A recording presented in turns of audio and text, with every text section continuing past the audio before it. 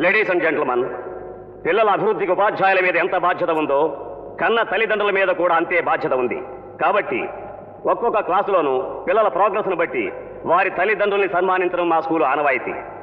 First standard విద్యార్థి రాజీవ్ తల్లిదండ్రుల్ని వేదిక మీదకి రావాల్సిందిగా ఆహ్వానిస్తున్నాం.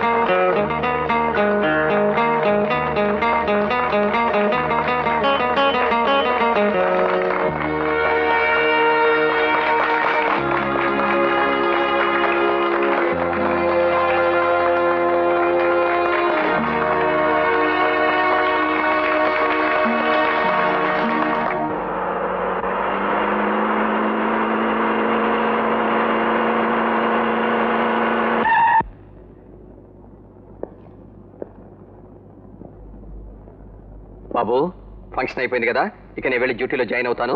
ఓహో మీరు వెళ్ళకూడదు ఇక్కడే ఉండాలి. సరే సరే నువ్వు ఏడకూడదు బాబు. మీ డాడీ ఇక్కడే ఉంటారుగా? లలిత.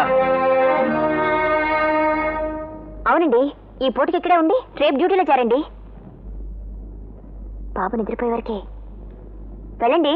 Thank you aunty good night రా డాడీ లోపలికి వెళ్దాం. వెళ్ళండి. వెళ్ళమంటుంటే.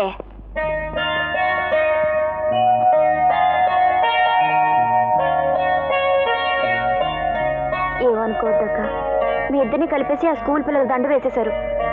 నువ్వెంత బాధపడ్డావో ఏమో నాకు మాత్రం చాలా కష్టం అనిపించింది. ఏం చేస్తాం? బాబు కోసం తప్పదు కదా. అదేం మనసులో పెట్టుకోవద్దు. బాబు నిద్రపోగానే ఆయన పంపించేసే రాత్రి ఒంటరిగా ఉండాలంటే నాకు చాలా భయం బాబు. మరి వెళ్ళొస్తానే.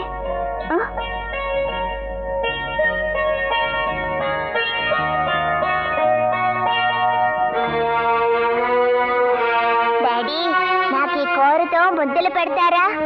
అలాగే బాబు. వద్దు బాబు. అందులో కారం ఎక్కువ ఉంటుంది. మీ డాడీ కారం ఎక్కువ తింటారు. శాంతి నాకు కారం అంటే కారంగా తీపి అంటే తీయగా పులుపు అంటే పుల్లగా ఉండాలి. ఆహా. నాకు మంట అంటే మంటగా ఉండాలి. అసలే మండిపోతుంటే. పెట్టింది తినండి. కారం ఎక్కువైతే ఆరోగ్యం మండిపోతుంది. తినండి ఇవన్నీ. తినండి.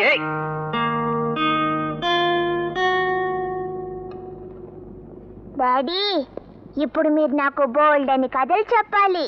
రండి పడుకుందాం. ఇదేంటి మమ్మీ? ఇంత ఎత్తుగా తలగల్లేసావు మీ డాడీకి రెండు తలగడలు కావాలి బాబు.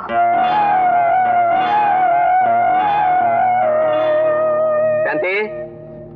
శాంతి! ఏంటండి? ఇంకో తలగడ తెచ్చిపెట్టవా?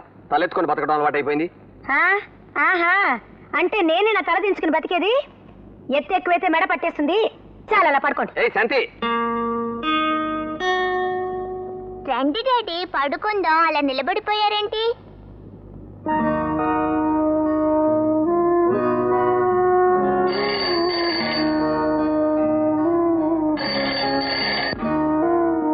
హలో ఒక నిమిషం ఉండమ్మా.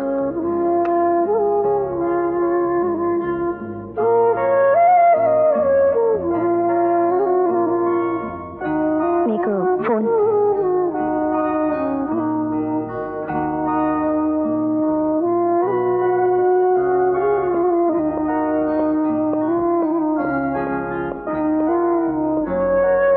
హలో బయలుదేరుతున్నాను.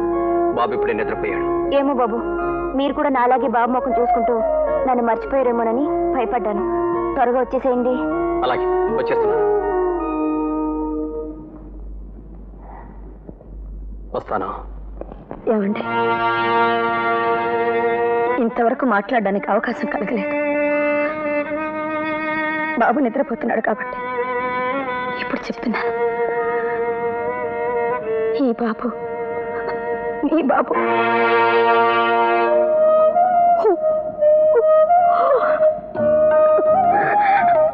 అవునండి.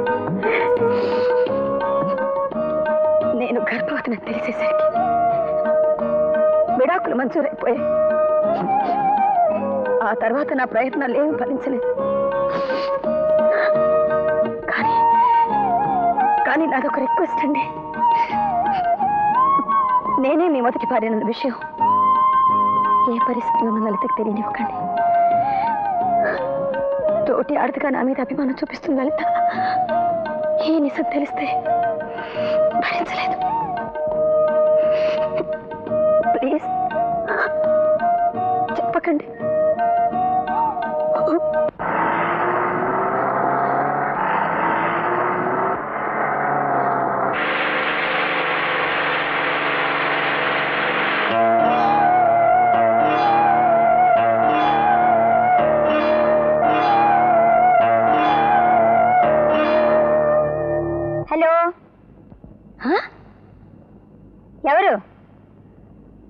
గారు బిజీగా ఉన్నారు?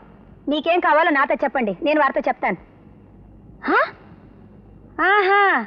ఆయనతోనే స్వయంగా మాట్లాడాలా? అయితే ఆగండి. ఆగండి అన్నానా? ఎవరి దగ్గర నుంచి ఫోను? ఎవరో శారదట. నీతోనే స్వయంగా మాట్లాడాలట. హలో శారదా. Good morning. బయలుదేరుతున్నాను. సాయంకాలమా? ఓ ఎస్ నాకెందుకు గుర్తులేదు? చాలా ఇంపార్టెంట్ ప్రోగ్రామ్. ఆ, బయలుదేరుతున్నా. Okay bye. అబ్బో అబ్బో!